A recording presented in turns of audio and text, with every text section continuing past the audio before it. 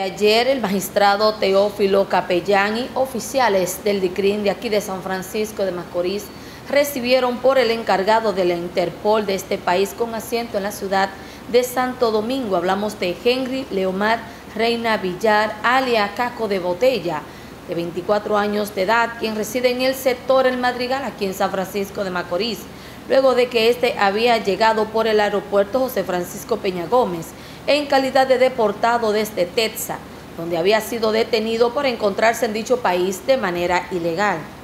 En contra del detenido existe una orden de arresto en su contra de fecha 25 del mes de agosto del año 2018, la cual se le imputa ser uno de los autores de la muerte de Yeuri Polanco Acosta,